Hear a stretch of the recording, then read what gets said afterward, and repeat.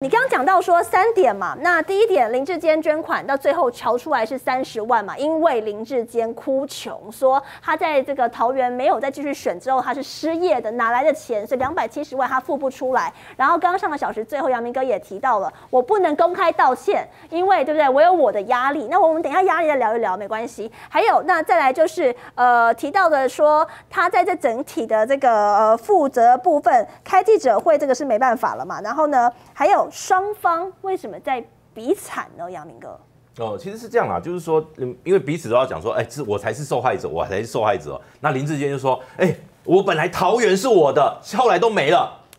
桃园是我的，对，然后呢？结果那个林志，呃，这个于正煌听到林志坚这样讲，哎，火也火也起来了。是啊，啊，你的生涯就是你的生涯啊，我的职涯就不是吗？啊，我被一等考级打一等啊，我被调职啊，我都不行吗？然后而且法官还说，对对对，他有被冷冻哦，你知道法法官还肯定这个于正煌的。然后呢，然后反正这个过程里面呢，就是让于正煌又火起来哦。他说奇怪，你什么桃园是你的？然后反正就是这一段真的是非常的荒谬。那。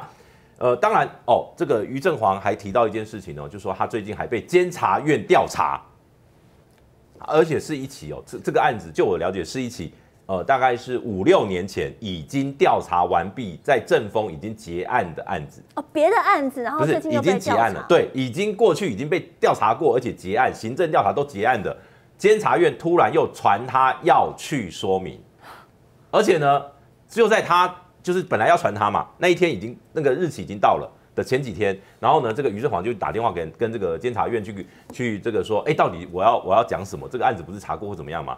后来就反正这个当当下那个调查官也没有回应。后来过两天说，哦，你不用来了，又说他不用来了，嘿，是一个很奇怪的案子。对，而且这个主查的是这个这个小英很热爱的这个监委叫高永成。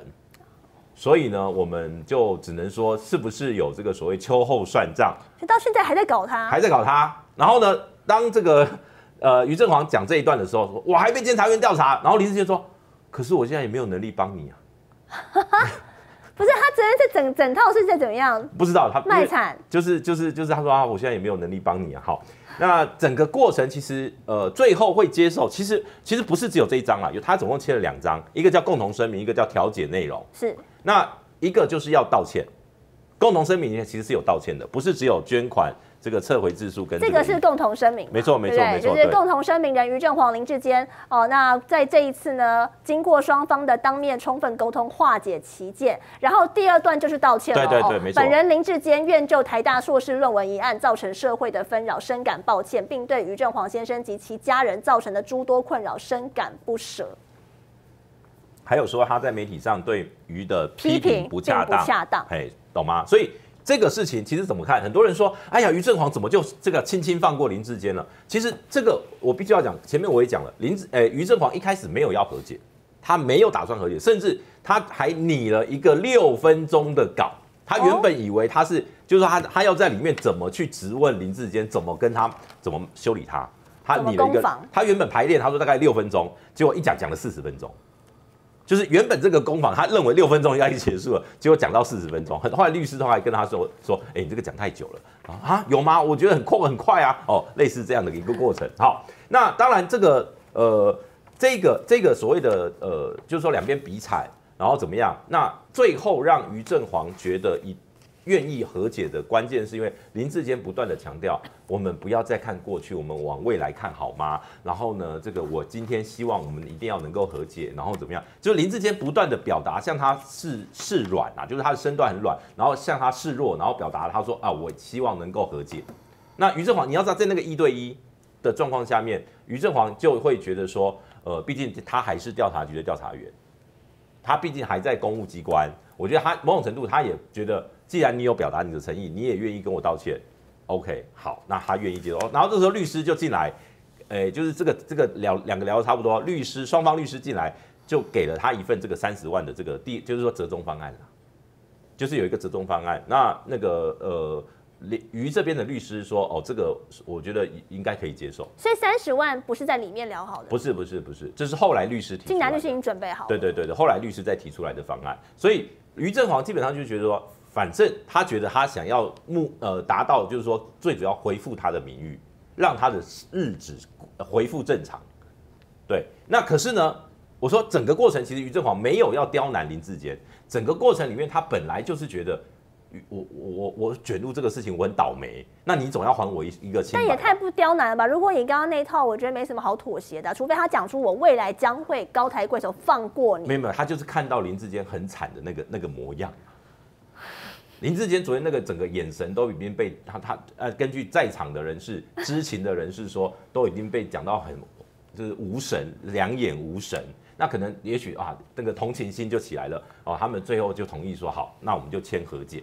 可是，就是因为同意签和解这个讯息，他可能他们还在字斟句酌的时候，我刚刚讲了这个讯息，就有媒体就立刻报道了。所以他们在里面还没签哦，他们看到啊，我我已经和解了吗？我已经撤告了吗？而且我在今昨天的第一时间看到这个报道，已经写的很完整哦，里面还特别写到说，从一月起，林志坚的态度就相当的明显，是要朝向和解的态度，而且拿出了很多的诚意，这部分写的很足哎。没有啊。